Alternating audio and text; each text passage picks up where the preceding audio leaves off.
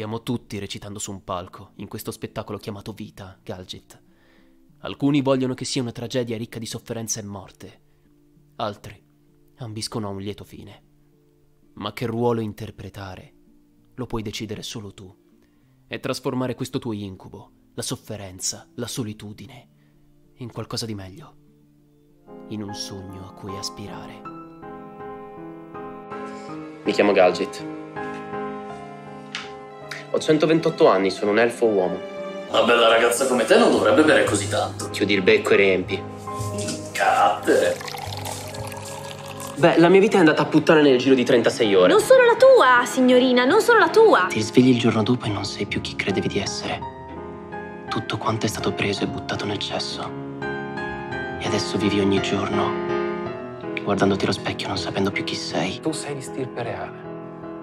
Più di una persona hanno cercato di usarmi e costringermi a fare progenie per portare avanti la stirpe. Non è quello che voglio. Gli elfi hanno fatto il loro tempo. Per quanto mi riguarda è giusto che scompaiano così come è scomparso l'impero. Oh, porca puttana. Ehi, Galgit. Ma che cosa ti succede? Galgit.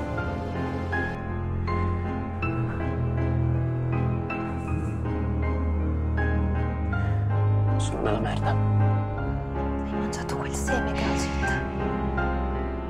Sì. Mio padre deve essere stato un uomo interessante. Sei sopravvissuto ancora una volta. Sei sopravvissuto a una marea di merda. Puoi farcela, figliolo. Lo so io e in fondo lo sai anche tu. Non è che posso e che devo. O si cede o ci si rialza. E noi non siamo tipi che cedono. Mai. Ti voglio bene, marmocchio. Ti voglio bene anch'io. Se vuoi vivere a lungo, Galgit, prevedi l'imprevedibile. Ho lavorato come investigatore, sì. Collega? tanto tempo fa. Mi chiamo Brian. Galgit. Puoi chiamarmi Rocca. Galgit. Galgi. Sì. Nome strano per un umano. Oh, non sai quanto so... Amico.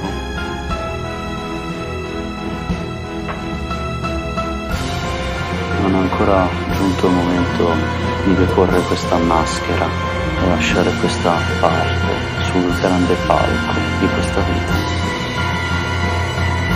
Mi sistemo il cappotto sulle spalle e esco. Ha ancora molto da imparare, ma sono sicuro che un giorno, quello che per ora è solo un sogno, potrebbe concretizzarsi. Fiamma. Un sognatore non si perde mai, soprattutto se si porta dietro il suo ferro.